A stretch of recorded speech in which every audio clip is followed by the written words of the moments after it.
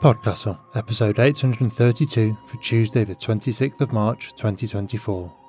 Part 2 of The Adventure of the Faerie Coffin, being the first Morstan and Holmes occult detection by Rebecca Buchanan, read by Nicola Chapman and produced by Devin Martin. Rated PG.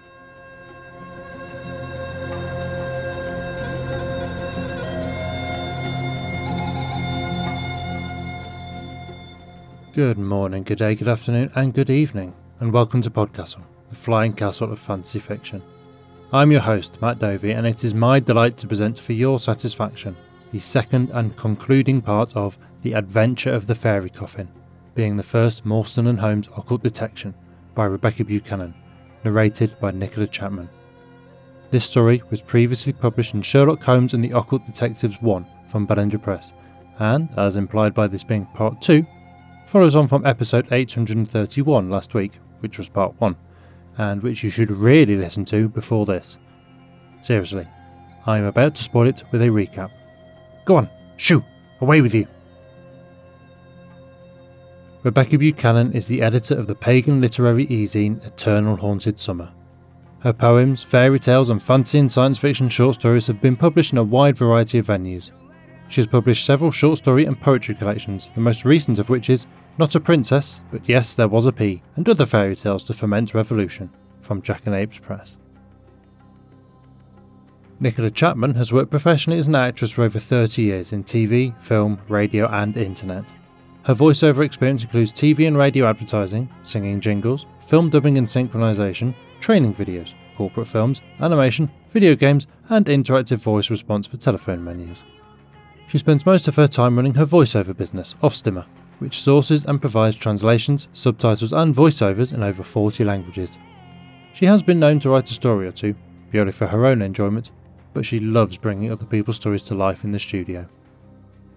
When not working, reading, or playing with her cats, Nicola can often be found up to her elbows in flour, trying to make the perfect brioche. This may take a while. So, Last time we were introduced to Miss Mary Morstan, fiancée of Dr. John Watson and thus associate of Mr. Sherlock Holmes. Miss Morstan was away to her alma mater up in Scotland, the Fraser Academy, where the headmistress, Mrs. Edith Fig was dealing with a matter most unusual within her school walls an apparent haunting. Weeping and wailing had been heard, bookshelves tipped onto students, smoke pouring from hearths where no fire was lit. And Miss Macpherson the chemistry teacher had tripped down the stairs while fleeing an apparition and broken both her legs. Mr. Holmes intercepted Miss Morstan at the train station and accompanied her, taking on the name of Sigerson in the interest of discretion. Upon arrival, and after some encounters with old acquaintances, Morstan and Holmes had gone to investigate the chemistry laboratory. Miss Morstan undertook a working with a charcoal disc of juniper and a copper needle to try and identify the source of the disturbances, whereupon the needle flew across the room and buried itself in the door, behind which was hiding a student, Alice Arrascane, who recounted the story of how she and two friends had gone to Arthur's Seat and found a tiny coffin tucked into a little cave, covered with flowers. They brought it back to the school, but it has since been removed from its hiding place in the basement stove. Further investigation of the basement revealed an adult footprint before the stove and a hidden passage leading to a spiral staircase, which opened out onto the chemistry laboratory. And now pay attention, for our tale is about to resume, and Morstan and Holmes both have their theories.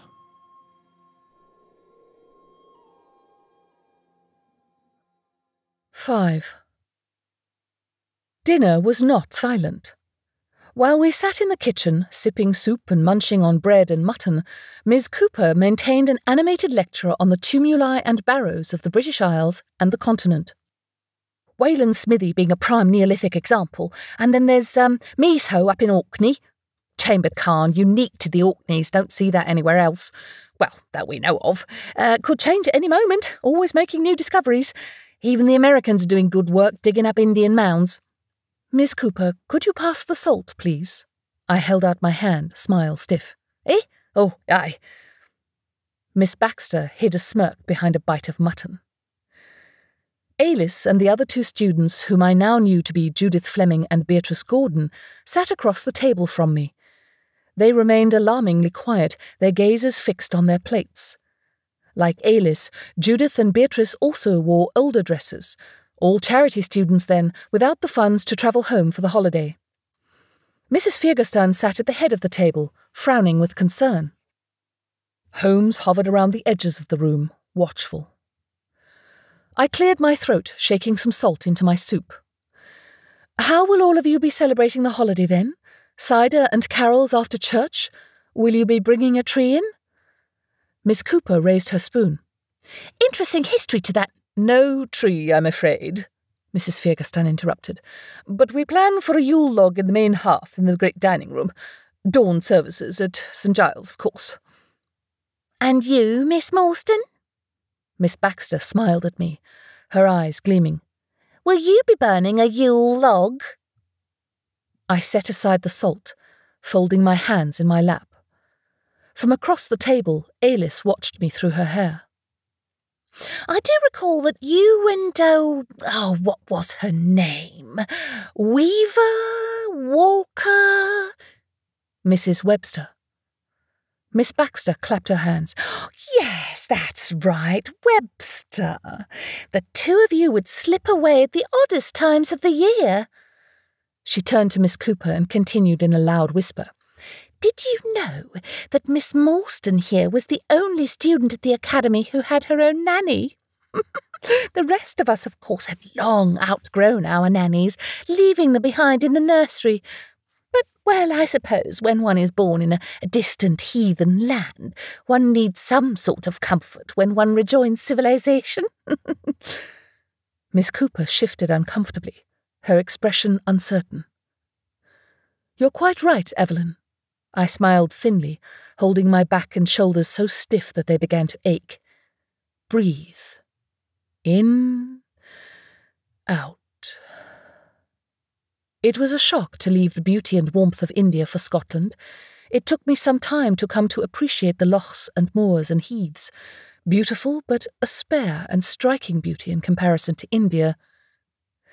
And, of course, I had just lost my mother. My father, loyal down to his marrow, would not abandon his duty to the Queen, and so Mrs. Webster kindly agreed to accompany me back to my homeland, to love and care for me as if I were her own daughter and I came to care for her as a second mother, but more as a role model, an example of compassion and honour and courage. The sort of woman I could only hope to become myself, caring for the children in my charge as she cared for me, as Mrs. Fiergestan does, as I'm sure all of the teachers here do. Mrs. Fiergestan cleared her throat. You're very kind, Mary. Her face flushed, Miss Baxter glared at me. And is that how you acquired that pearl necklace? I do not believe that I have ever seen its like. A gift from a grateful student? Or perhaps a grateful parent? I am sure. Evelyn, that is quite enough. The headmistress slapped her hand down on the table hard. Beatrice jumped. Judith appeared to be near tears, and Alice's frantic gaze darted back and forth between the adults around her. Mrs. Fiergestan stood. Girls, prepare for bed. You may read for a short time, but I expect you to be under the covers with your eyes closed by nine sharp. The three girls stood, bobbing their heads and murmuring, Yes, headmistress. Miss Baxter patted at the corner of her mouth and tossed aside her napkin. Well, if you will excuse me, I I have some work to attend to in the botany room. Miss Cooper, I believe that it is your turn to clean up. With that, she stood and quickly left the kitchen. Miss Cooper huffed a sigh. There's no need. I'm sure that Sigerson would be more than happy to take over any cleaning duties this evening. I turned on the bench and smiled at Holmes. Wouldn't you, Sigerson? He answered with a barely audible yes'm. Excellent. And the three of us can retire to the dining hall as well, perhaps with a pot of calming tea? Mrs. Fiergestan frowned. Well, I suppose. Miss Cooper offered me a grateful smile. Minutes later, we were settled into deep leather chairs in front of the flickering hearth. While Judith and Beatrice read in their cots, small lanterns set beside them on makeshift nightstands, and Alice snored under her blankets, we spent a delightful hour discussing the works of Sir Walter Scott and Robert Louis Stevenson. When Miss Baxter appeared some time later, already dressed in her sleeping gown, she ignored us. She climbed into her cot and showed us her back. Only as the clock struck ten did our conversation draw to a close. Miss Cooper bid us good evening and left to change into her own sleeping gown. Slipping forward in my chair, I whispered to Mrs. Feargastan, At what time may we expect to be awakened? She flinched, pulling in her shoulders. Sometime between two and three in the morning. It does not last long, however. Ten minutes, perhaps fifteen. In that case, we had both better get some rest. I gathered up the teapot and cups. I will return these to the kitchen. She stayed me with a hand on my wrist. And what precisely will you do? I offered her a reassuring smile, not unlike the one I had offered Alice earlier in the evening. Whatever I must. With that, I bid her good night and made my way down the dark corridors to the kitchen, only a few electric sconces lighting my way. As I suspected, Holmes was nowhere to be seen.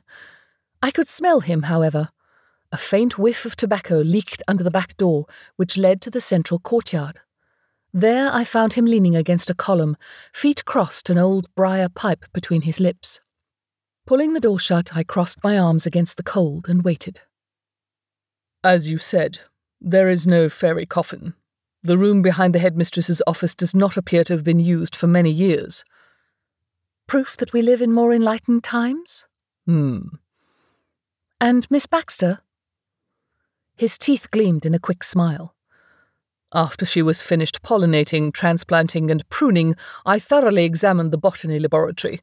The few pieces of iron there proved to be of no consequence, and I could see nowhere that she might hide the coffin. Miss Cooper, then? He did not answer. Or, as you argued, someone from outside the school. I shivered. My lungs were beginning to hurt from the cold. We can expect to be awakened between the second and third hours of the morning. I have preparations to make. What will you be doing? He turned, a halo of bluish smoke circling his head. Continuing my education in occult detection. Using the keys that Mrs. Feargastan had entrusted to me, I locked the dining hall doors, both those that opened onto the main corridor and those that led through the secret passage to the kitchen. Across both thresholds, I laid a mixture of sea salt, thistles, and powdered briar and blackthorn. I laid a semicircle out from one edge of the door to the other, giving Holmes and myself room to sit or stand as needed. At the top of the semicircle, I drew a stylized thistle with the mixture three spokes poking up, two poking down. Mr. Holmes, if you would, please. A nail. There should be plenty of iron ones in the door. My voice shook just a little as I made my request. A combination of exhaustion, uncertainty, and giddiness. I could feel my face flush as he hesitated, then dipped his head without comment and turned to the dining hall door. He pulled a knife from his boot, and within a few moments had pried loose a single straight nail, clean of rust. Thank you. My voice shook slightly less. I carefully laid the nail in the centre of the thistle, in line with the arch of the semicircle, an effective bar against any fairy. Energy could still flow into the safe space as I needed it, but nothing malign could enter. Sitting down, I found as comfortable a position as possible on the stone floor and drew additional supplies from my travel bag. The same threaded cloth I had used in the chemistry laboratory, the bronze canister with a fresh disk of juniper charcoal, my flint, my copper needle, and Mrs. Forrester's package, a loose net, dark green in colour, painstakingly woven from crushed and threaded nettles. It had taken Mrs. Forrester years to create the net I'm not sure that I would ever be able to repay her for giving it to me. Holmes settled down beside me. Salt for purification and protection, I gather? I hesitated and cleared my throat. I had been taught the importance of secrecy from the cradle. Speaking openly now of my work was disconcerting. Even with my beloved John, I had been able to say only so much. I cleared my throat again. I will have your word that you will not speak of what I'm about to tell you with anyone else, not without my permission. He pulled his briar pipe from his pocket, but did not light it. Not even Watson? If you were implying that I did not. A fierce wail echoed down the corridor, high pitched and jarring. I lurched onto my knees while Holmes scrambled to his feet. The air above the salt line shivered, and I could only wonder at how much worse it would have been without that protective barrier. Another wail followed, then weeping, sobs of grief that made my own eyes tear up in sympathy. At the far end of the corridor, a figure came into view. Female, and taller than most men, long limbed and thin. White green hair trailed down her back and along the floor like grass touched by frost. Her dress was not cloth, but the withered stalks of flowers, bare twigs, bundles of bird's nest, clumps of feathers, bits of fox and rabbit fur. The dress rasped and rubbed against the stone floor. Blue markings, paint, ink, swirled and arced across her forehead, down the sides of her face, and across her cheekbones. And her eyes. They were the icy blue grey of a highland lake in winter, so cold with anger and grief that I felt it down to my bones. The wailing continued as she moved towards us, her inarticulate cries giving way to words, then sliding back again into moans of pain. Not Scots Gaelic, not even Old Irish, but Pictish, understood by only a few who maintained the old ways. My breath caught as the meaning of her words became clear.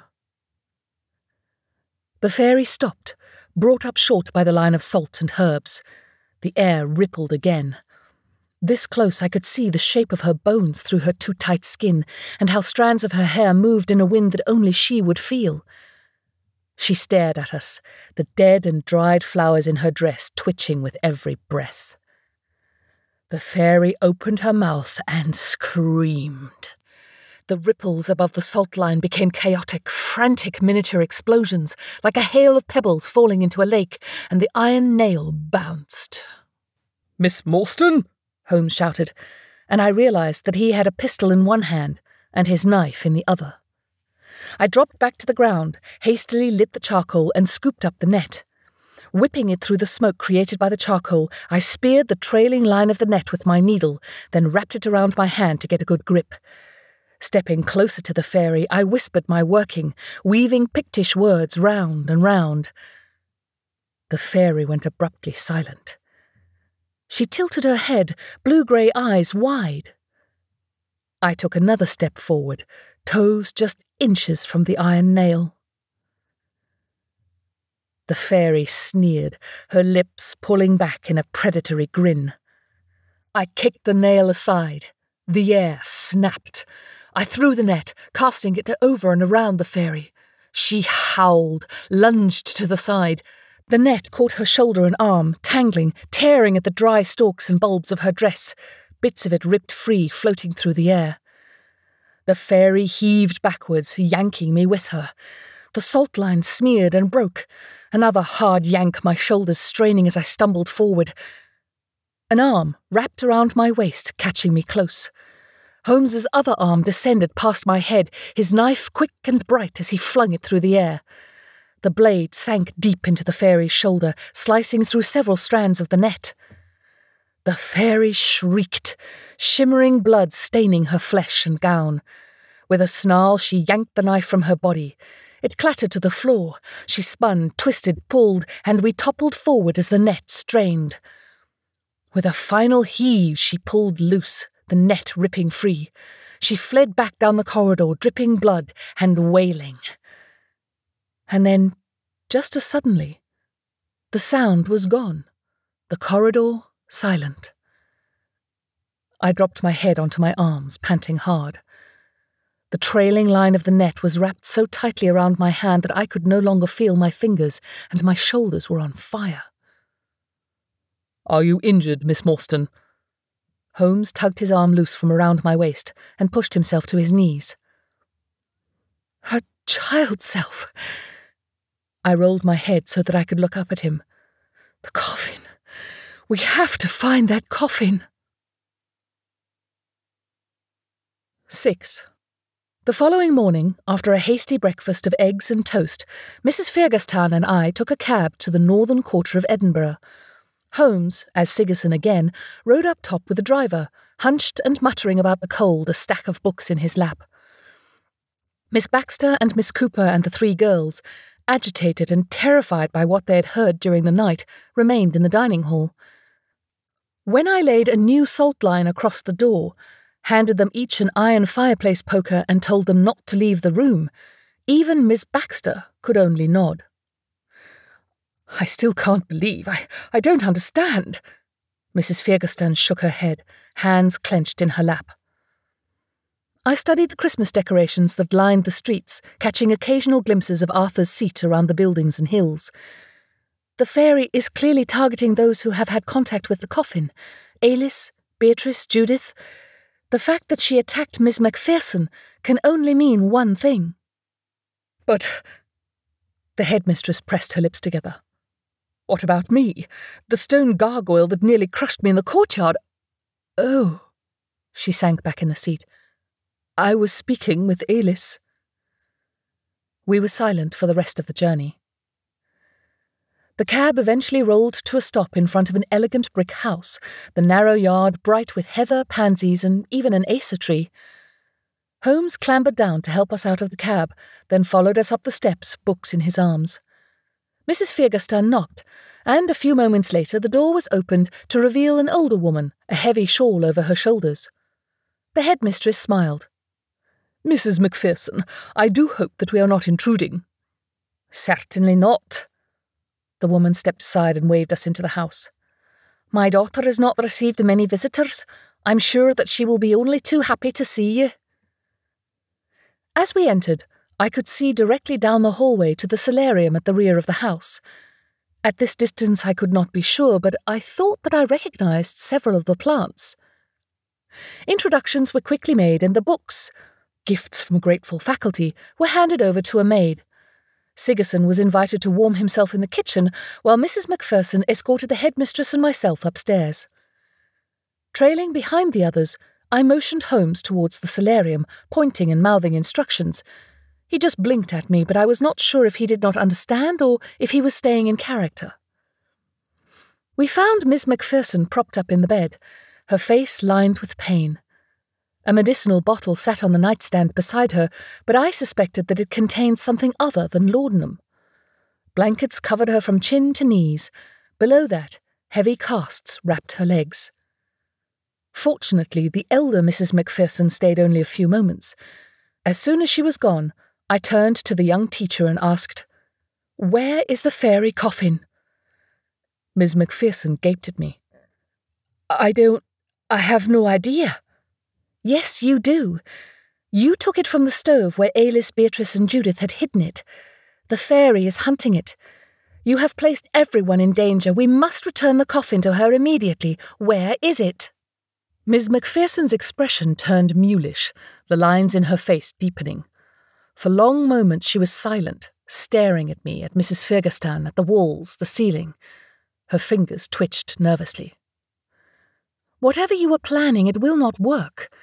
As soon as you remove the coffin from its hiding place, the fairy will descend upon you. You are not strong enough to defeat her.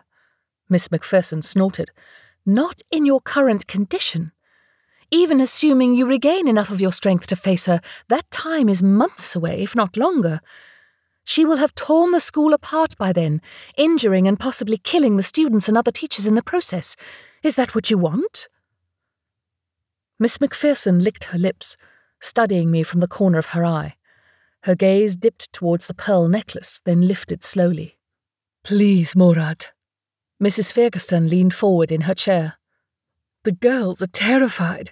The academy will have to close down. End this. The young teacher exhaled, heavy and low.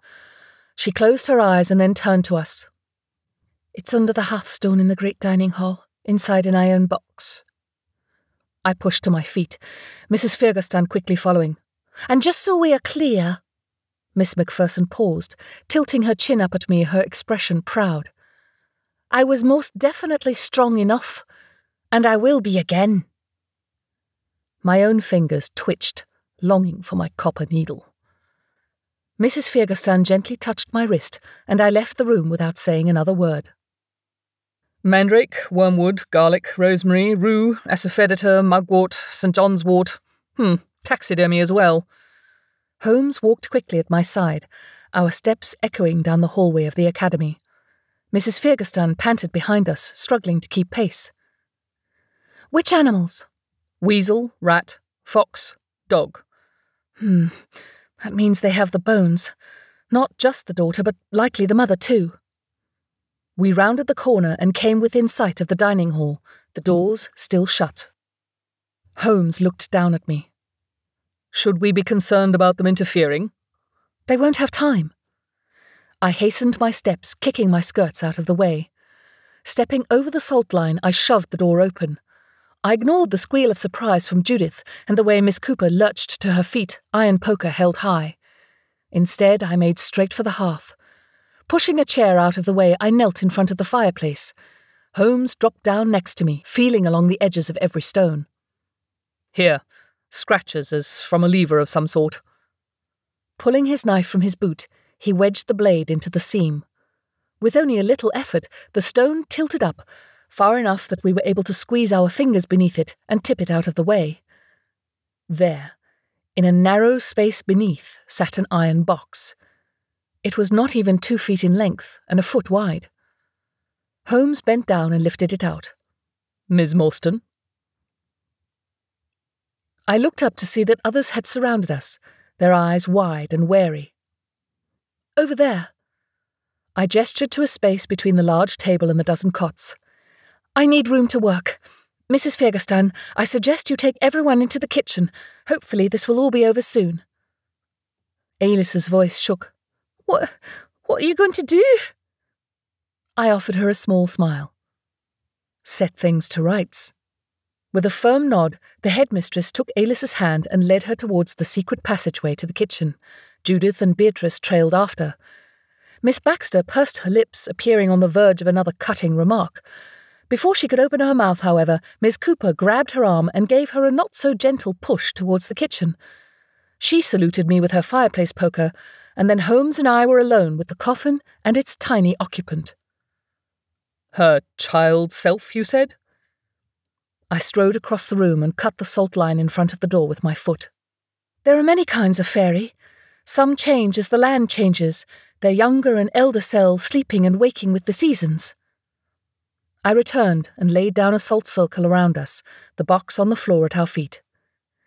If she does not retrieve her child self, she will die with the spring.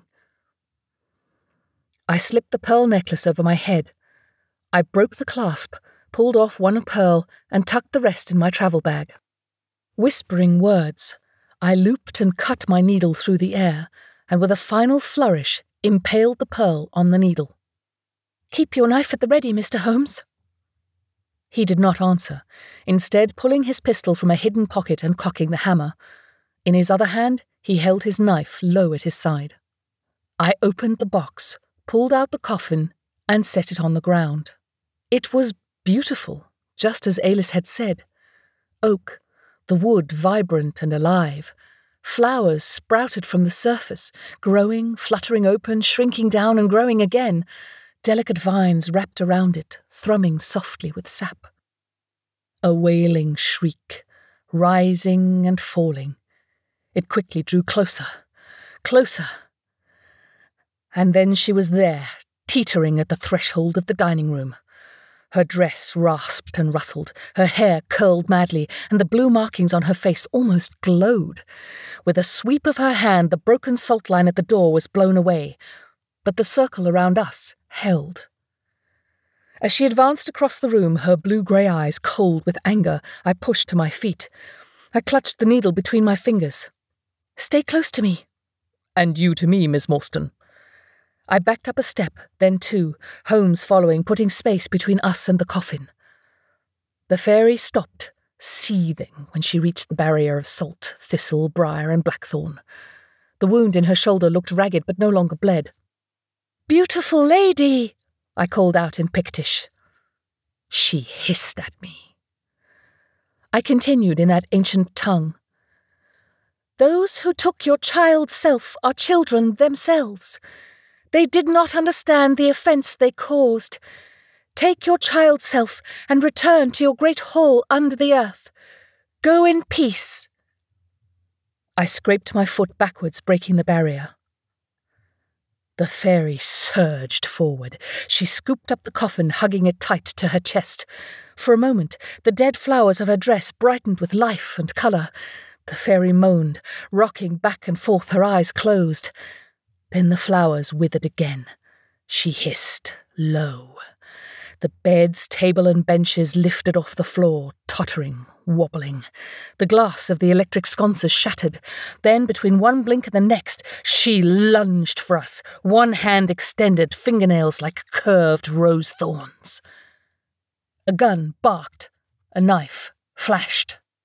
The fairy spun, twisted around, and lunged again. I lifted the needle, chanting, the pearl shining. Not Gaelic or Pictish this time, but classical Sanskrit, the language by which the pearl was created. It recognized its mother tongue, opalescence spinning across its surface.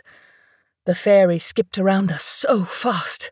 The beds, table, and benches spun in the air, crashing into one another, into the wall, splinters flying. My voice rose, a blackness crept across the pearl.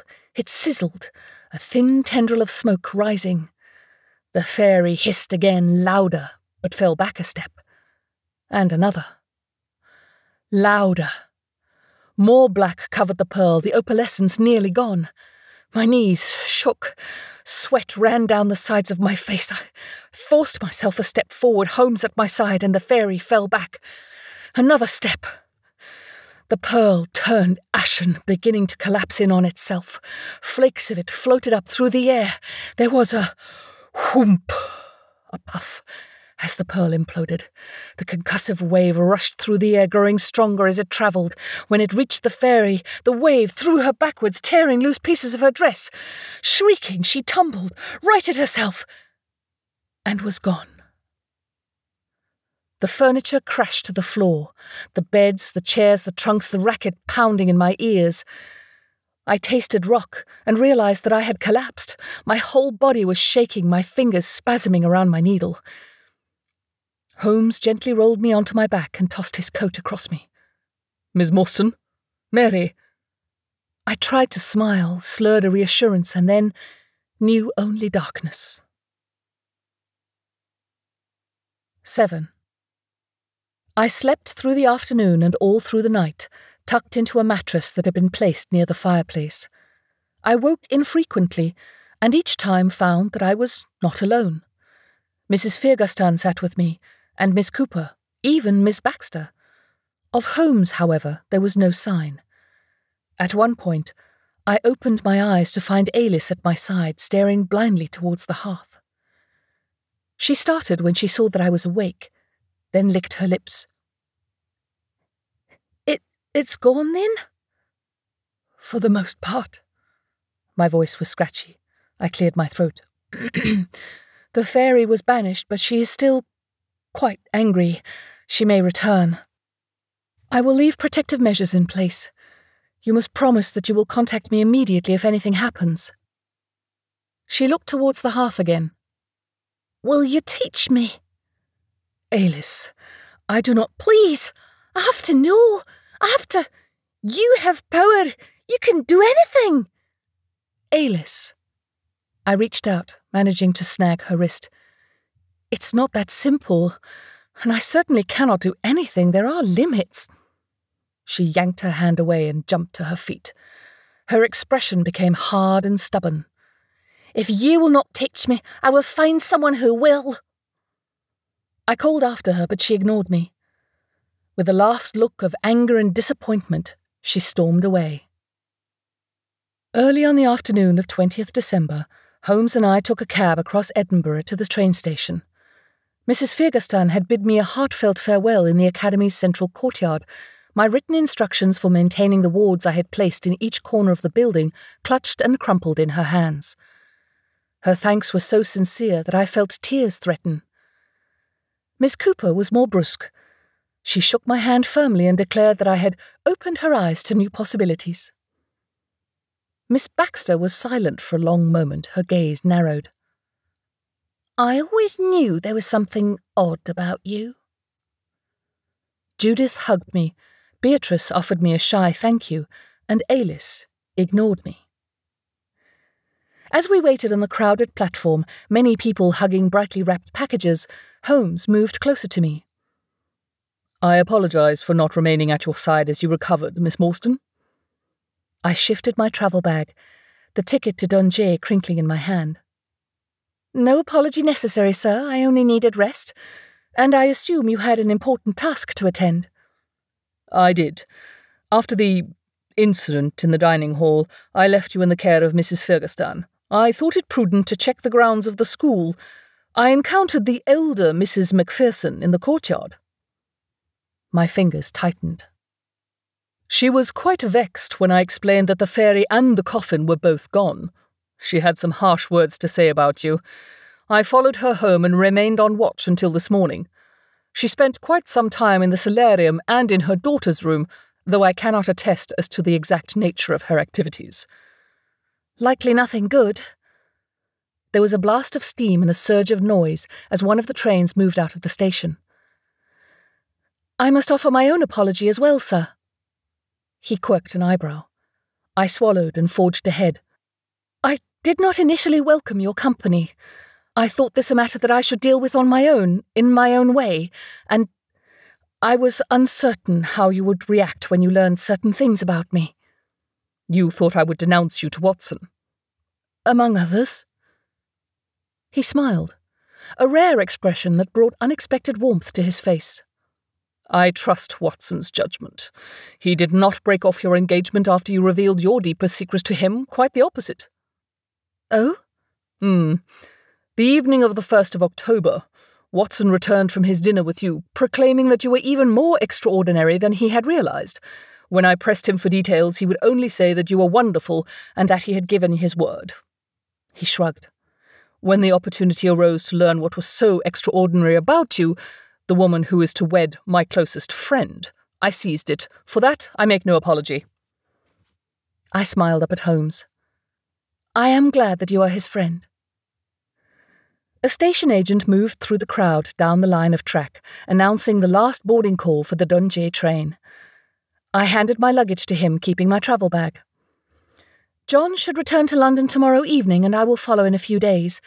I shall see you both Christmas morning? He tipped forward in a slight bow. Give my regards to Mrs. Webster, and please let her know that I would like to pay her a visit myself if and when she is amenable.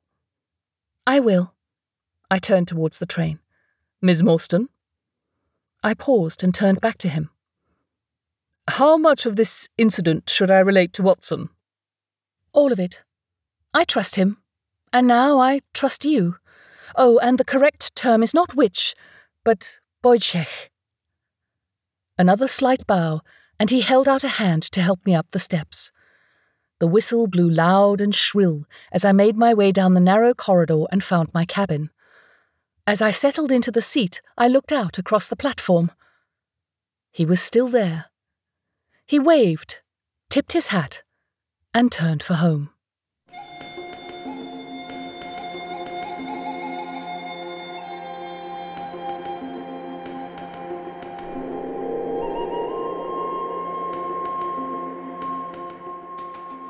And welcome back.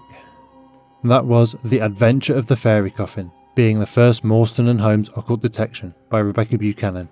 And if you've enjoyed it like I did, you can pop on over to eternalhauntedsummer.com and find plenty of details on the many books, collections, anthologies, and short stories Rebecca has written. Rebecca sent us these notes.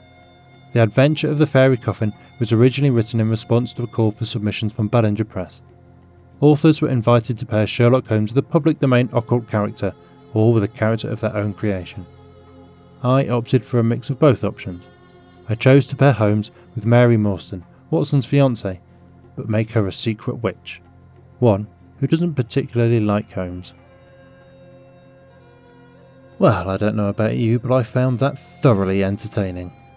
The voice, the character, the inventiveness and imagination, it was one of those stories that was deeply satisfying in every way, and utterly compelling as a result.